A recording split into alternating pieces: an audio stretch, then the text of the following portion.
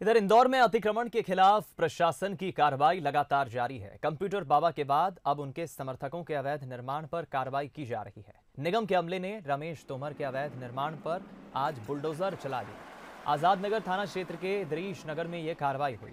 इस दौरान निगम की टीम के साथ जिला प्रशासन के अधिकारी भी मौके पर मौजूद रहे। रमेश तोमर कंप्यूटर बाबा का करीबी माना जाता है। रमेश तोमर पर कई आपराधिक मामले दर्ज हैं। इससे पहले जिला प्रशासन ने बड़ी कार्रवाई करते हुए ग्राम जमूडी बख्शी गाँव के सरकारी ज़मीन पर बना कंप्यूटर बाबा का आश्रम ढहा दिया था और विरोध करने पर पुलिस ने बाबा समेत सात लोगों को गिरफ़्तार कर जेल भेज दिया था। हालाँकि बाबा के साथियों को बाद में जमानत मिल गई थी, लेकिन कंप्यूटर बाबा को राहत नहीं मिली। आज भी उन्हें कोर्ट में दोबारा पेश किया जाएगा। पुलिस ने उनकी एक दिन की रिमांड मांगी रमेश तोमर है इनके खिलाफ 19 आपराधिक प्रकरण दर्ज हैं।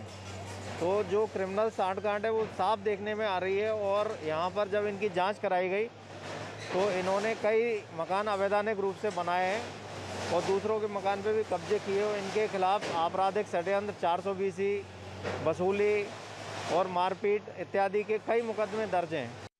आज अल सुबह इद्रिश नगर पर जो रमेश तोमर है कंप्यूटर बाबा का समर्थक बताया जाता है उसके यहाँ पर जिला प्रशासन नगर निगम की टीम यहाँ पर पहुँची थी और यहाँ पर जो उसके अवैध ठिकाने थे वहाँ पर कार्रवाई की गई मैं आपको तस्वीरें दिखाना चाहूँगा कि ये वो इद्रेश नगर की जो आ, मकान है जहाँ पर जिला प्रशासन और नगर निगम की टीम आज यहाँ सुबह अल सुबह पहुँची थी और यहाँ पर कार्रवाई की गई। बताया जा रहा है कि ये कंप्यूटर बाबा का अनुयायी बताया जाता है खासा खास समर्थक बताया जाता है और उसके साथ ही जो कंप्यूटर बाबा के पास कार्रवाई के दौरान जो गाड़ी मिली थी क्रिस्टा गाड़ी वो भी रमेश तोमर के नाम से रजिस्ट्रेशन थी जब इसके बाद से ही जो रमेश तोमर है, यहाँ से लगातार फरार चल रहा है पुलिस, इसकी लगातार धरपकड़ के लिए कोशिश कर रही है, लेकिन अभी तक जो रमेश तोमर है, वो पुलिस की गिरफ्त से बाहर है। वहीं बताया जा रहा है कि जो रमेश तोमर है, इसके खिलाफ कई आपराधिक प्रकरण दर्ज है इंदौर शहर के अलग अलग थाना क्षेत्रों में, जहाँ से बताया जाता है कि ज़मीन खरोद फरोख्त और उसके साथ ही अवैध कब्जे तक की बात सामने आ रही है। वहीं पर इंदौर के अलग अलग थाना क्षेत्रों में जिस प्रकार के मुकदमे दर्ज होने की बात सामने जा रही है, उसमें उन्नीस ऐसे मुकदमे दर्ज हैं जो कि रमेश तोमर के खिलाफ